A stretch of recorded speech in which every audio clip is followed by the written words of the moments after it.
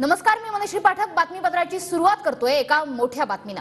शिंदेच्या शिवसेनेचे तीन लोकसभा उमेदवार बदलले जाऊ शकतात असं चित्र आहे. एखादा उमेदवार कमजोर वाटत असल्यास शिंदे तो बदलतील असं वक्तव्य संजय शिरसाटांनी केलंय.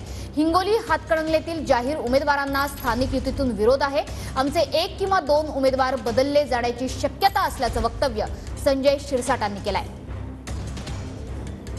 ठिकाणी जर उमेदवार थोडा बहुत जर कमजोर वाटत असेल तर तो बदलण्याचा अधिकार मुख्यमंत्री एकनाथ शिंदे साहेबांना आहे.